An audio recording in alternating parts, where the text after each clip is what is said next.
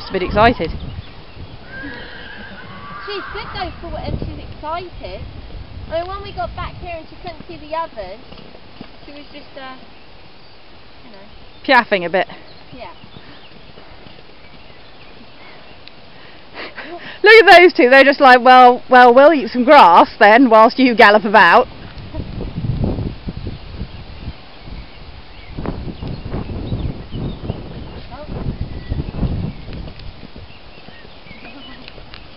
Those two just stick together and Yes. It's funny though, I